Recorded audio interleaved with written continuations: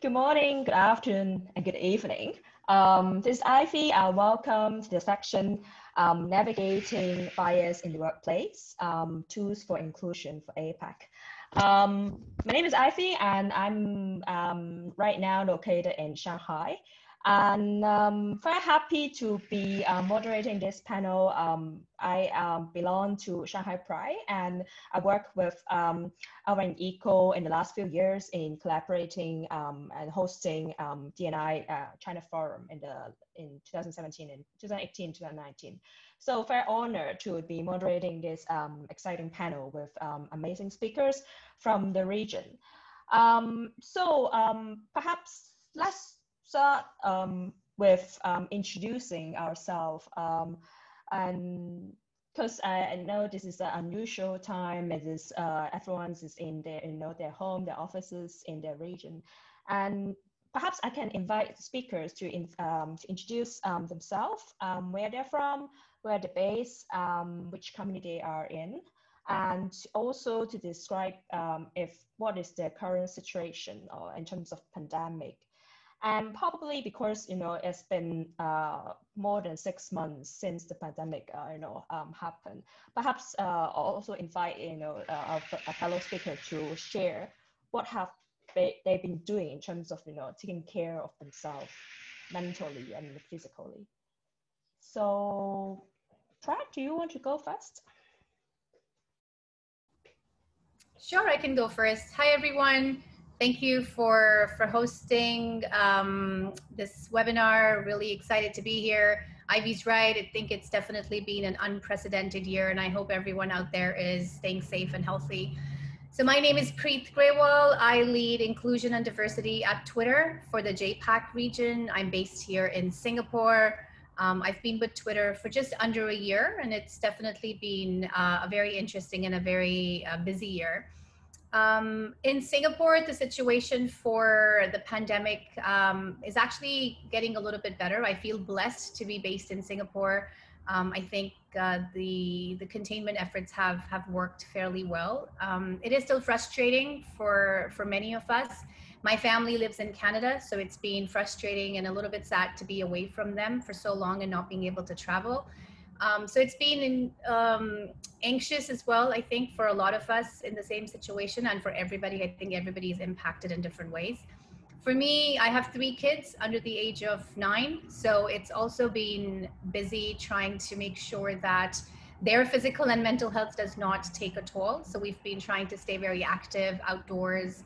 Um, we've picked up cycling as a family, which has been really good. You kind of have to step in to be a parent, a friend, a teacher at times and it's not the easiest thing to do everything, but uh, but we've been able to manage. So um, a lot of gratitude from me to start this session. I feel blessed, as I said, to be based where I am, um, and everybody is happy and healthy. Amita, do you want to go? Sure. Thanks, Ivy. Um, hi, all. I hope all of you are safe. Um, uh, maybe Corona has left some of our minds, but it has not left in reality. So hope all of you are you know wearing masks whenever you are stepping out following social distancing and taking all the precautions as required so um, i'm amita um, i work with Citi, Citi technology um, i'm the site head for um, citi private bank testing so i'm part of technology. That's what i do. So i have a global team you know located across emea apac nam latam um, it's a very routine kind of job. Um, you know so we, we basically test the solutions being rolled out to Citi private bank. Um, that's what i do and that's what that's what brings food to my table um, apart from that my advocacy is my passion so i indulge in advocacy um, mostly on weekends or whenever i get time um, in term uh, for inclusion and diversity. So basically to drive inclusion forward, to, to drive equality forwards, that's where my um, passion also lies. Um, uh, so yeah, very much excited for this session. Thank you so much for this opportunity and uh, looking forward to it. Yeah. Thanks, Amita. And how about our um, our fellow male speaker in the panel, Renza or Troy. Okay, okay. Thank you, Ivy, for arranging and moderating this. Uh, hi, everyone. Hope you are safe and well, both you and your family. This is Choi, and uh, my Chinese Chinese name is Renzi. But um, during my um, master's degree time in the U.S., a lot of my friends and classmates and teachers want to pronounce my Chinese name well and accurately. However, they failed. so for your convenience, you can just call me Choi. Um, and uh, I took over the uh, diversity and inclusion leader role for Greater China Group of IBM starting from this February. And um, I think uh, my seniority in, in this field is uh, shortest uh, among the panel. However, I still find this is a fantastic field uh, in IBM and also beyond IBM. So I think Ivy and I have been uh, ha have been connected in uh, Shanghai Pride in this June, and uh, uh, both internally and externally, I think people who are doing DNI are innovative, engaged, and dedicated. And also, they all, they always have brilliant ideas. So I, I think this is the most fantastic part. And uh, for me personally, um, I think uh, in China, we are now in a recovery mode. And uh, um, Ivy can also share that now in Shanghai, you can see a lot of people on the street.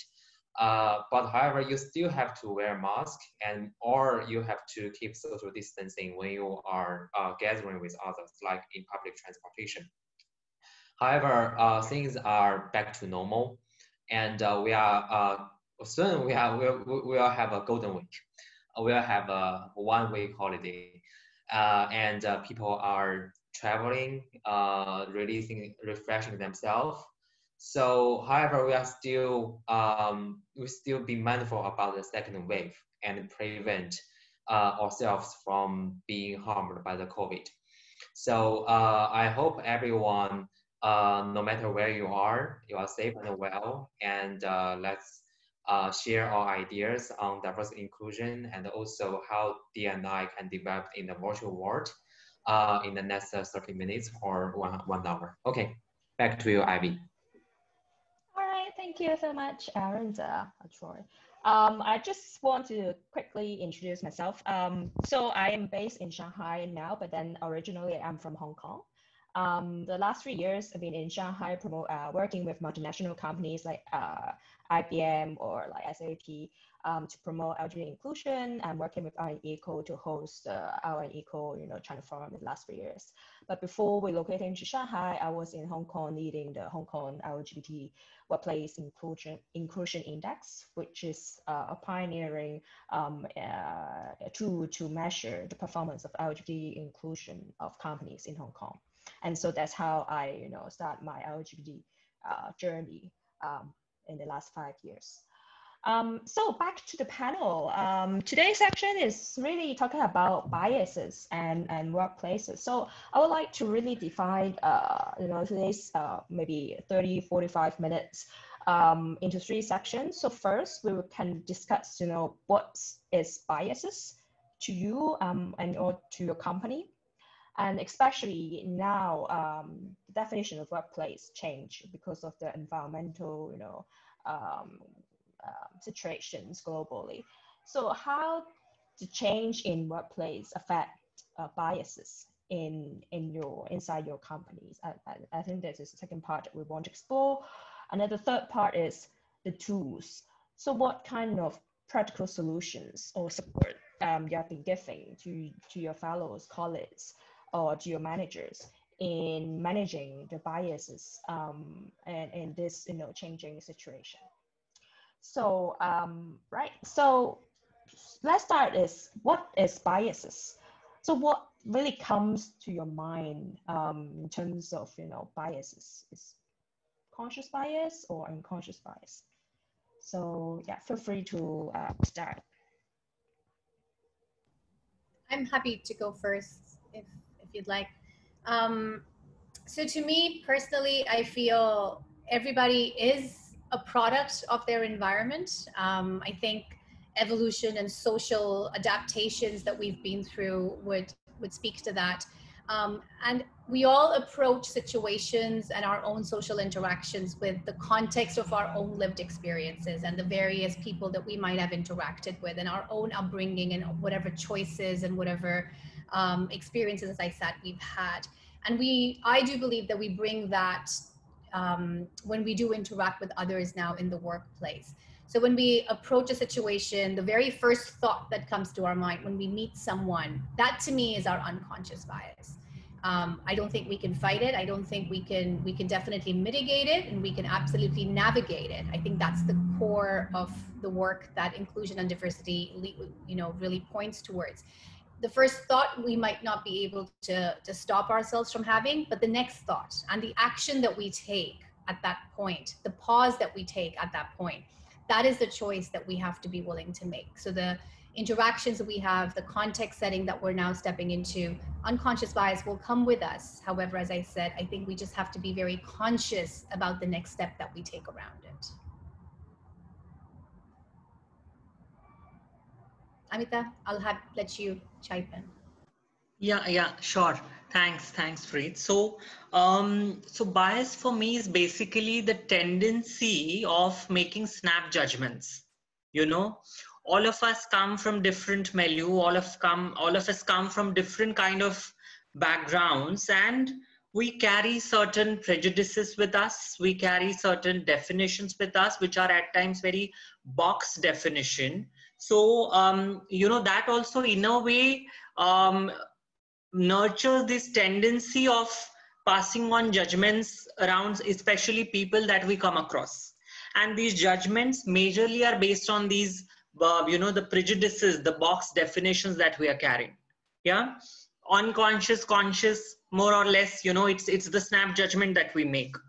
Now um, first thing here is we need to understand that we cannot eradicate biases. It's it's inbuilt in our circuitry. We're humans. We are bound to have biases. That's where the first step is acceptance. A lot of us or maybe some of us some of us live in this mode of denial. I have gone through various trainings. You know i am an inclusion diversity advocate. I have so many certifications under my belt so i don't practice bias at all. That might not be really true. Maybe you're living in some denial mode. And even like these are two extremes that i'm talking about. Individuals who claim to be inclusion and diversity evangelists can also be carrying biases because like i mentioned biases are within our circuitry. So acceptance is the first step. Yeah? Making peace with it is the next step. You know make your bias an ally. And then the third step is investing conscious efforts maybe trying to reduce the intensity of that bias you know trying to eradicate that bias. Of course you might not be but then when you are conscious at least you will reduce the intensity.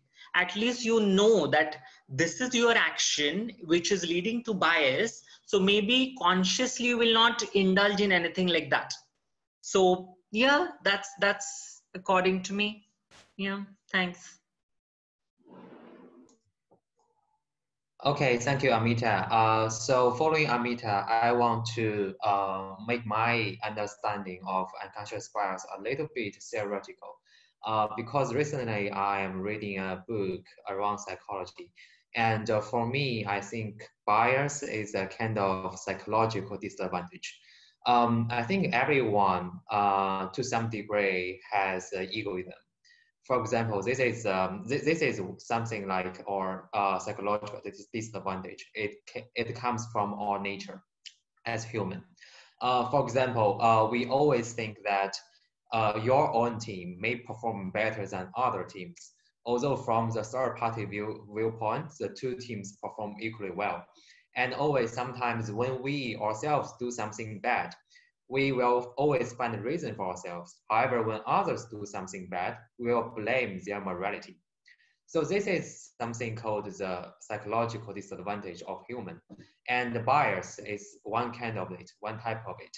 So when we see the when, when we see someone, we always see the similarities and we judge people and communicate with, with a person based on the similarities. instead of recognizing the difference. So the difference always make a make a big impact, make a big difference. So, um, however, we always ignore it. Uh, if the people you are dealing with, you are connecting with, is a minority, then ignoring the difference can be very harmful for them. So I think this is something um, that that from my, my understanding, unconscious bias or um, no matter unconscious or conscious uh, or conscious bias, um, they are a psychological pitfall. Uh, but I want to echo Amita's point of view that to overcome this, we need to change unconscious bias to conscious unbias. Conscious unbias is a new word that's proposed by, by IBM. That means that you proactively learn what kind of disadvantage you may have when you are dealing with people with difference.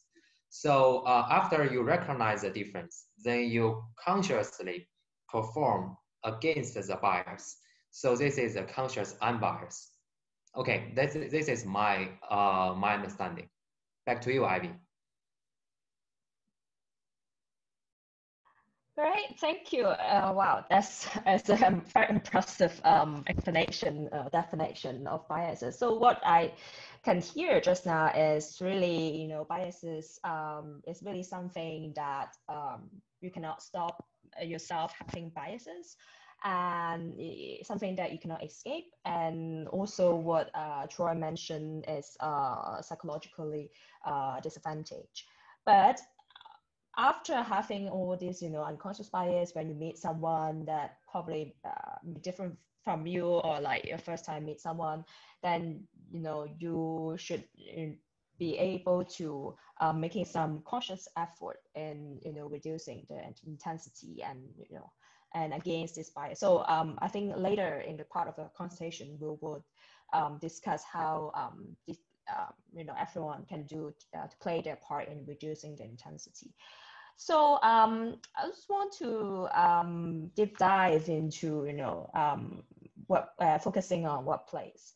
Um, since you know the definition of workplace change, as uh, you know, Pratt mentioned earlier in her introduction, she um, have you know in in uh, outside work, she had different roles as a mom, you know, take care of the kids, um, to make sure you know they are they can study well at home, you know, during the quarantine. So, you know, office now change. It can be like uh, home with parents, with your kids, with your partner, or even with your pets. Um, so I just wonder if you see any differences of bias towards LGBT or any other diverse uh, employees in office versus uh, virtually at home in your country. Hmm feel free to start if you have um, anything to contribute. Maybe we can change the sequence. Maybe start from me. Oh, yeah, time. sure. so um, for me, I think um, I work in IBM and IBM has a very long history of working remotely. Uh, so actually, I have to say that uh, for some of our colleagues, uh, we don't always see each other even before COVID sometimes you only see um, see one of your colleagues maybe only one or two times a year um, because they are coming to submit the invoice of the travel. So, so this is uh, only opportunities. Uh, however, uh, after the COVID, we see a very, very large volume of working from home in IBM it still uh, have some challenge. We still have some challenge compared with before, although we already have a long history. So uh, I think in terms of bias, um, actually I don't think uh, working virtually or working physically connected have any big difference around the types of bias. However, the, when, you are working virtually, the bias can be exaggerated or amplified. For example, uh, let me let, let me take a working mother for example. So uh, when you when you know that um, your teammate or your subordinate is a working mother, when you are working physically together, you know that she is working. However, when she when you are working virtually and you can't see her every day, every uh, every minute, then you may guess you may guess is she taking care of the family? Is she really working? So you may guess the imagination, people's ima- imagination can be very harmful. When you don't know the truth, you imagine. So this is a this is a very risky situation. So let, let, let, let's say LGBT group.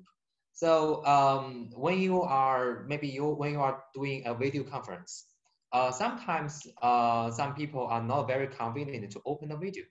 So um, if you know someone is an LGBT and uh, he or she told you that tells you that I'm not convenient to open my video, you may guess what you are doing. LGBT group is always so special. So the unconscious bias in your mind is being amplified. And also uh, for PWD group, you know, IBM has a lot of PWD, people with disability working in IBM. So uh, for them, working virtually is, uh, it's kind of a difficult. It's kind of very difficult for them because they have to, um, for, for example, some uh, visually impaired people, they can't see the screen very well.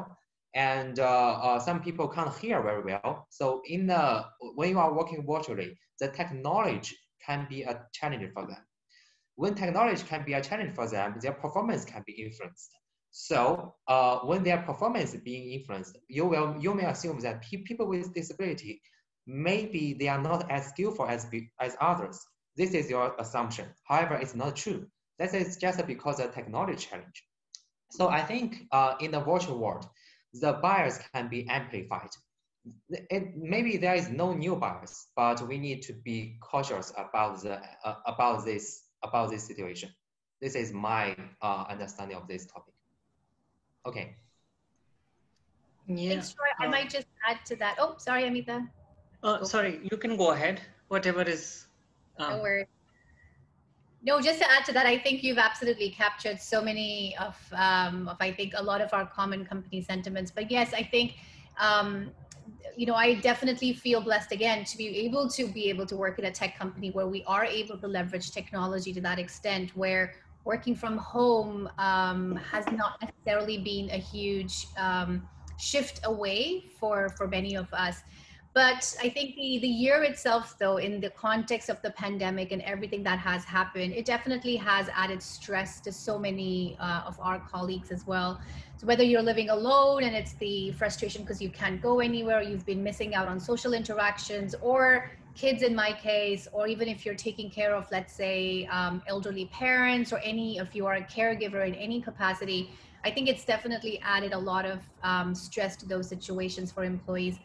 So I, th- I, think it's just amplified the need that yes unconscious bias might creep in and people absolutely need to be able to lead with empathy and be there for your for your team.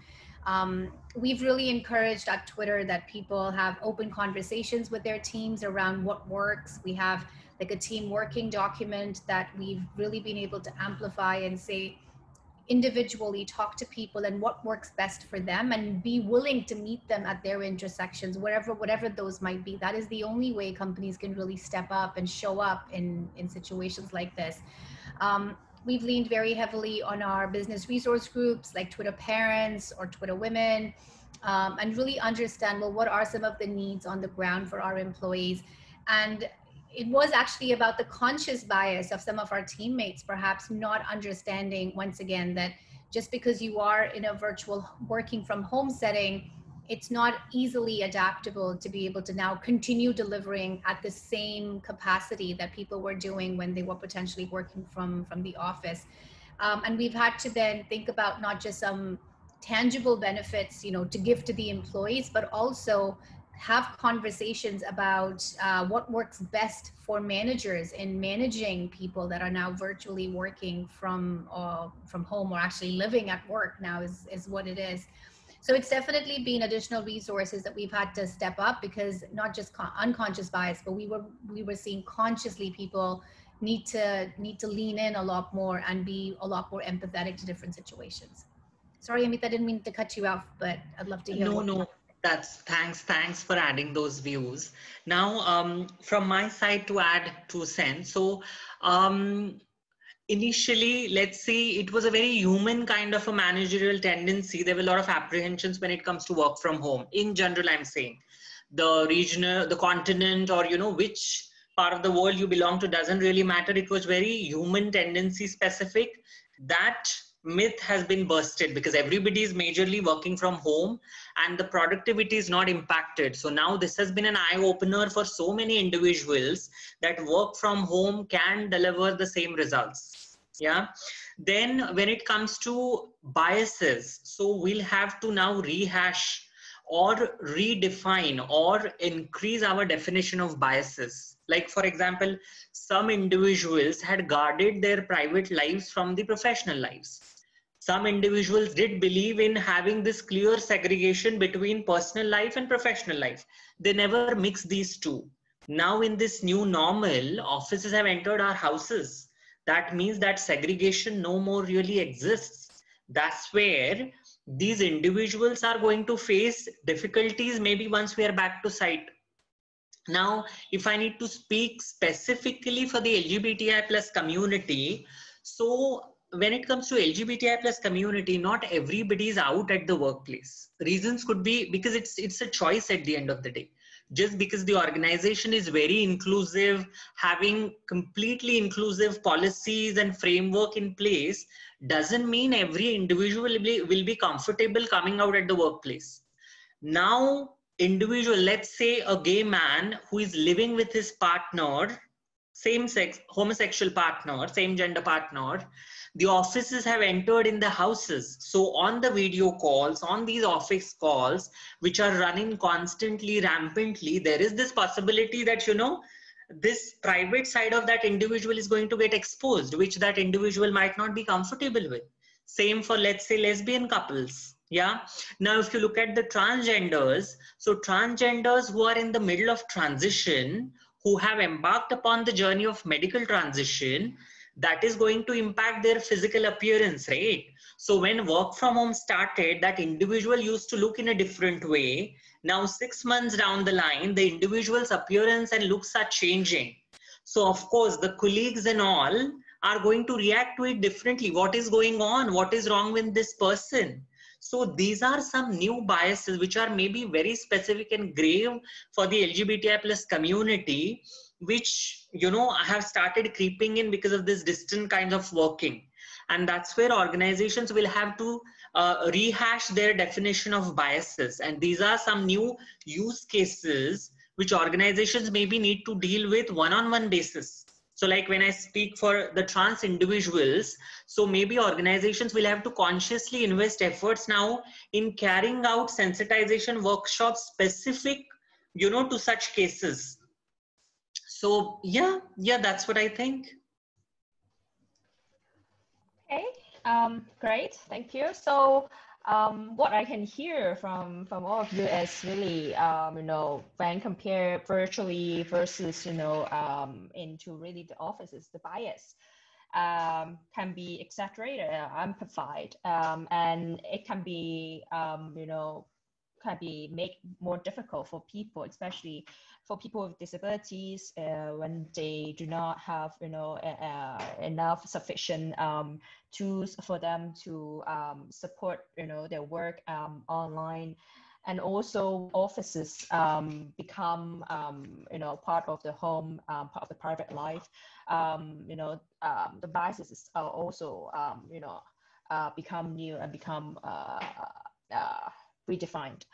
So I just uh, wonder, um, in the last six months, if you have been um, in your in your company or in your offices, if you have been um, doing some awareness uh, program on raising, um, you know, and uh, biases um, to your employees, and if yes, um, during your process, what have you learned from raising, um, you know, all this awareness program on biases? to your colleagues.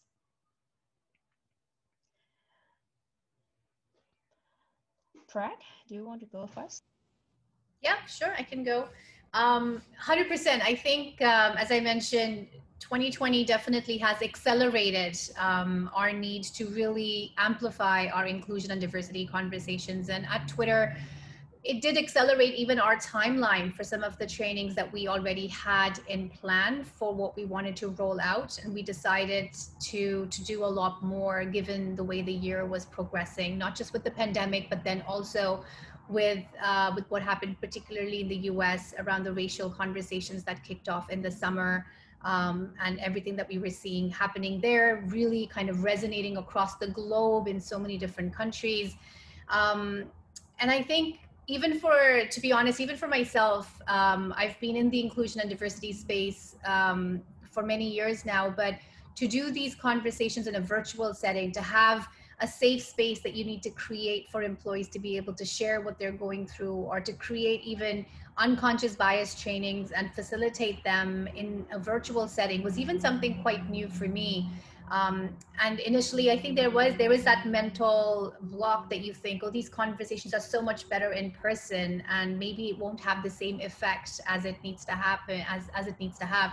But honestly, I think um, this year has also once again showed us that we can rely on technology, and we've really been able to bring people together, even though we are so so um, distanced from everyone.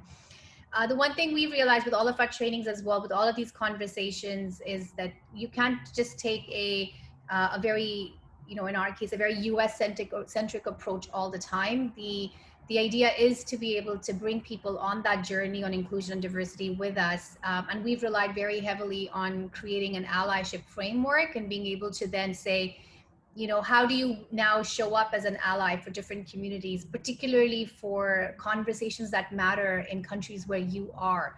So yes you know in the us you might want to be an ally for the black community or the latinx community and there are things that you can do but you can take the same learnings and you can implement them and really use them for the countries where you live and the conversations that you want to drive so we definitely do believe that a lot of our unconscious bias trainings that we've we've rolled out and we've really doubled down on the conversations around racial justice, um, unconscious bias, allyship in particular, and really actions that need to be taken to show up as an ally. So not just using ally as an identity, but really what are the actions that you're taking so that people, so that you are showing up for communities that you want to help take those learnings and be able to implement them in the countries that you are uh, based in and the conversations that you want to drive.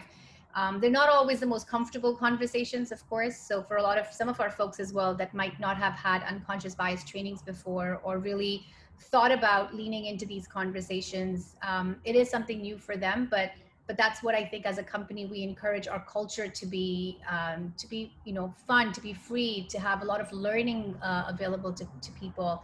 Where um, we want our platform to reflect the diversity of the voices, and we want people in our company to absolutely be reflective of that diversity and be inclusive. So we've been able to create that space for our employees, I believe, even though it has been virtual, it was challenging, but I think we we have really leveraged um, the the conversations that need to happen and it's it's an ongoing process for us for sure.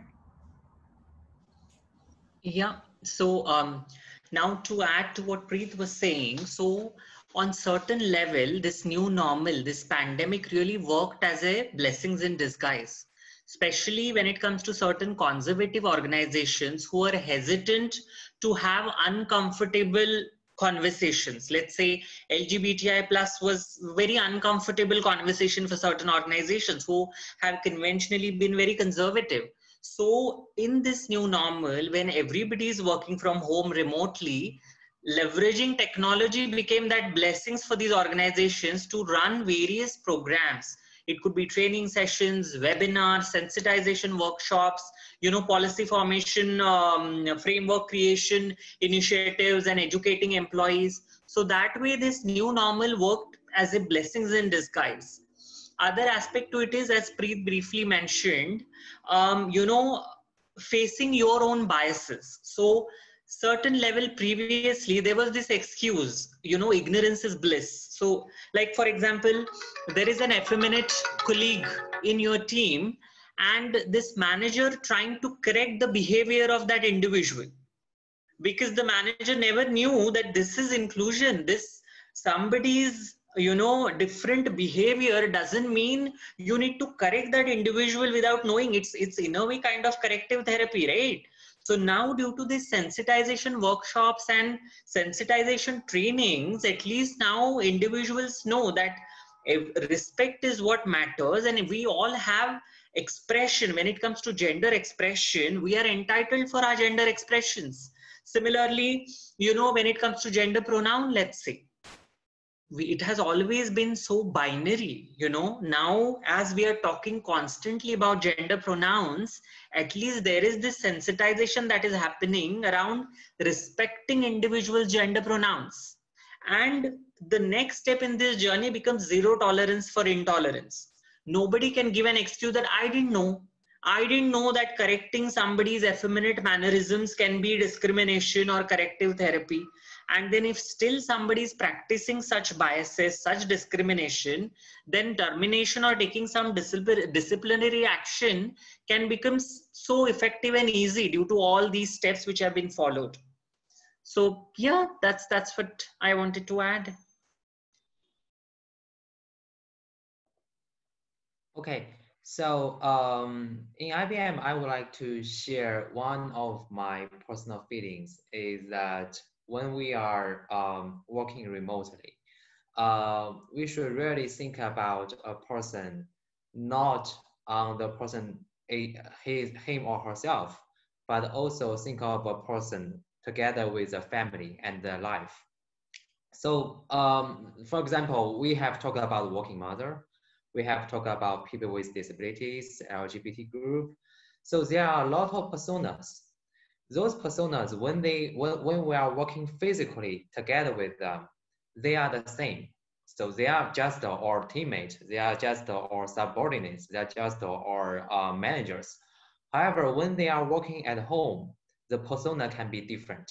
So, for example, working mother with a single lady to compare with a single lady, their situation at home can be totally different. So when we are considering about working, re, working remotely or working virtually, we should deal with people and consider their persona. So I think this is very important when we are um, when, when we try to improve the, the, the efficiency and reduce the bias. And also, I think uh, in IBM, we depend heavy, very heavily on managers to create the climate of respect of engagement. So uh, during the pandemic and also uh, also till now, we are constantly training our managers to create this respectful climate. So uh, I, I would like to share one example. We have a work from home pledge for our managers. So there are there are some pledges I will I would like to share with uh share I would like to share here. For example, I pledge to be family sensitive. I pledge to support flexibility for, for personal needs. I pledge to support not camera ready times. So there are a lot of pledges that remind our managers that when you are working, and you should proact that I have from the from the past several months. One is to recognize the different personas when people are working from home. The second one is to fully utilize the manager's power and manager's uh, impact to create the climate. So this is my sharing. Okay, um, great. Thank you. Thank you so much um, for your insights um, on uh, both learn in, in raising awareness, um, you know, in a virtual setting. So, um, in the beginning, we have talked about, you know, what's biases, you know, what's um, biases has, how bias change in terms of, you know, changing uh, workplace. And just now we also um, talk about like what um, you have been doing in, in raising awareness on, you know, uh, managing biases with your employees and what you have learned. So I just wonder, um, what's next? Um, you know, as as the year go on and as you know the pandemic is still going on and in some part of the world it's still going on and in some part like china we're we are actually back to normal in the business um, so what's what do you see uh, as bias for the future? What do you think if there's any new biases we need to address, and if you can think of any you know possible possible new solutions for all these um, new biases.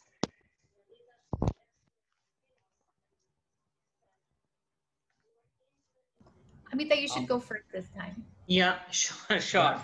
So, you yeah. know, um, as I mentioned in my um, earlier brief explanation, so we'll have to rehash, we'll have to revisit our definition of biases.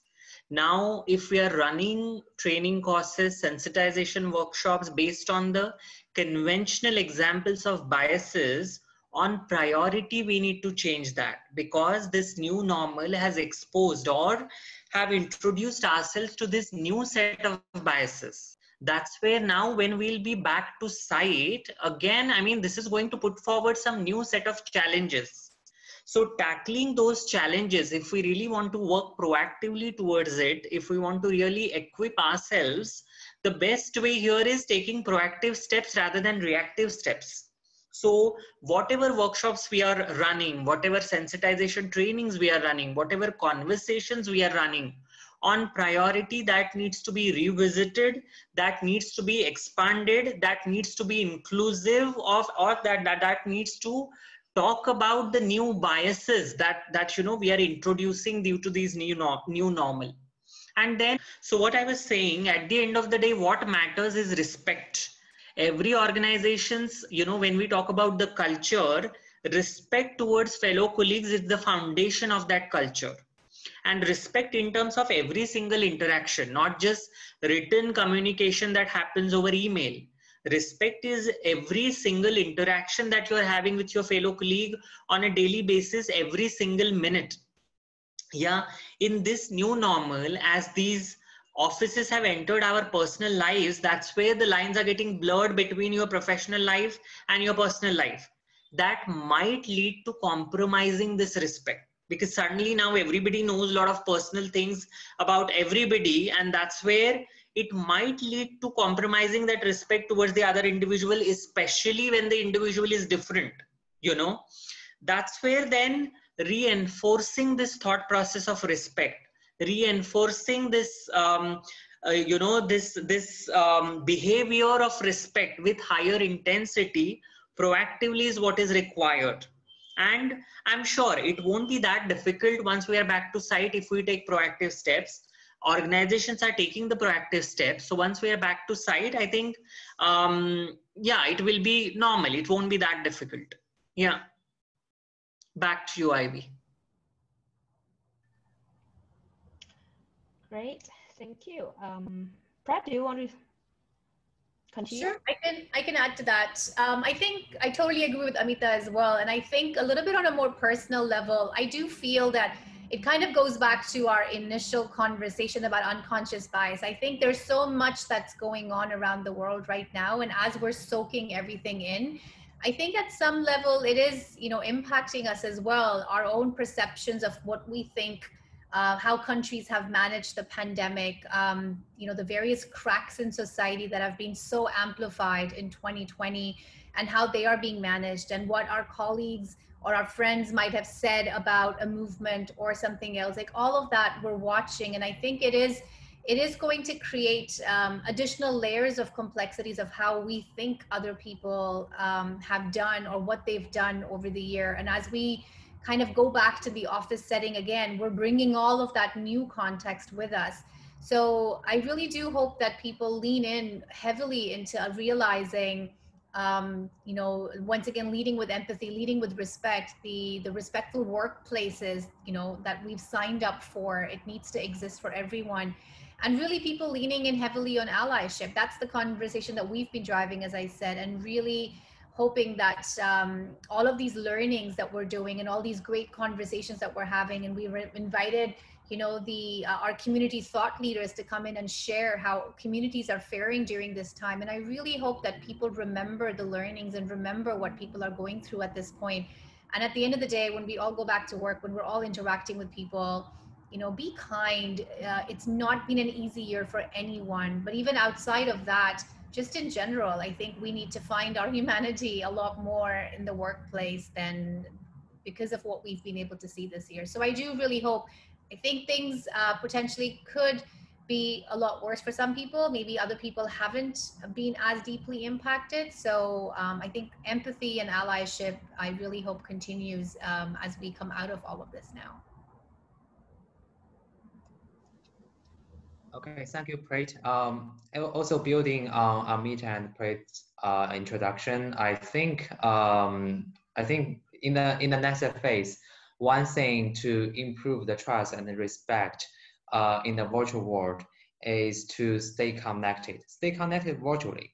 So, uh, for example, um, when you are physically together, you do team buildings, you see everyone day to day. Uh, however, when you are disconnected uh, physically, when you are connected virtually, you should also you, you should continue this. You should continue the connection, and uh, not only personally, but also between the families. For example, when uh, when, when you know a working mother, you can check. Uh, you can always check uh, about uh, her daughter kids, how they are doing, if they are doing well. So by knowing their by, by knowing her family well, you know her well. So you know uh, what's influencing their day-to-day work because now it's a world of work and life integration. The boundary between work life now is disappearing. So when we are looking at a person, we are looking at a person, we should not only look at look him or herself, but also look, uh, look, look at his or, or her family and his and his and her life. So um, I think this is one thing. And as a manager, if you are a manager in the organization, you should foster this connection. And in IBM, we are already doing and encouraging the managers doing the online team buildings so that people can stay connected. And uh, by doing by by doing so, by staying connected, people build trust among each other. So I think the second, I think second very important topic is about the technology. We all talk about the technology. So um, if you are um, primarily working uh, physically together previously, now you should think really think about how technology can help build an efficient team in the virtual world. So for example, in IBM, we use Mural, we use Trello, we use Slack to foster the collaboration online. And this really help us reduce the bias, overcome, overcome the barriers when people are working together. So this can be really helpful. So, and also it reduces the bias for, uh, for some people, for example, people with disabilities. So uh, when they can't read or hear virtually very well, the technology can help them. So create a more engaging world for them. So I think the technology is the, is the second priority that uh, companies should consider to reduce bias in the virtual world. Okay, back to you, Ivy. Great, thank you, thank you so much. So um, I just want to summarize what um, um, you know um, speaker mentioned. Um, really um, to prepare what's the future are coming um, for us in terms of you know addressing um, and managing biases, I think we can divide it um, into three levels. One is uh, really on the top company level where um, companies should really adopt uh, more technologies in, in supporting um, individuals or employees in um, helping them to, um, to work more efficiently um, at, at, at home or outside offices, especially uh, for people with disabilities. And also, you know, taking uh, more proactive steps rather than, you know, reactive steps um, in supporting, um, um, you know, colleagues in addressing um, biases. And the second level is really for the managers level in um, really uh, educating them on uh, possibly you know making a pledge like what George say um, in the conversation today um, pledge to be more sensitive um, to um, people who have family who, people you know who have you know extra needs at home. And really and the third level would be individual level which uh, you know each employees um, should stay connected uh, with each other virtually and physically and as you know work and life have integrated um, because of the circumstances um, that uh, are, beyond of our control um, so I think um, that is um, our today's conversation. Um, is anything to add? It's been a very grateful and very helpful section um, uh, today. So thank you so much. Just um, do you have anything to add um, in the last um yeah so from my side maybe you know um what i would say is um the conversation around mental health have been normalized a lot in various organizations and that has been a very positive change due to this pandemic because you know nobody was prepared for this. Suddenly we went to this lockdown. Suddenly situation across the globe changed. And no matter whether you are locked down with your family or you're holed up alone whether you are from the lgbti plus community or whether you are from the specially able section the pandemic did take a toll on everybody's mental health. Maybe the intensity varied varied. Mm. that's where organizations proactively took steps in normalizing this conversation you know helping colleagues understand that having issues with your mental health is perfectly fine providing assistance whenever required. So i think that has been again been the second blessings in disguise due to this pandemic.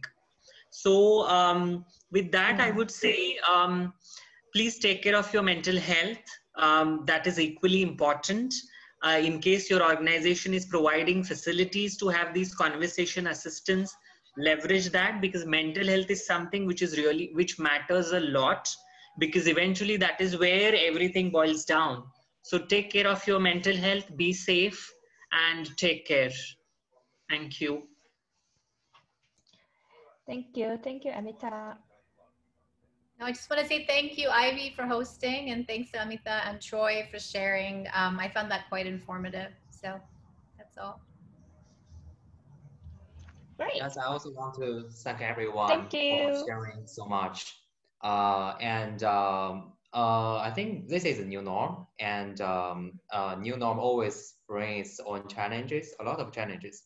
However, things will be things, things will be well in the future. And I think the pandemic is also opportunity for us to look back into ourselves and also into our families. Um, so uh, my personal feeling in the past several months, I stay a lot. We I stay much longer time with my wife, and uh, we find the more interesting life when we are together than being parted in the work in the workplace. So enjoying the life with the family. Great. Thank you. Thank you so much.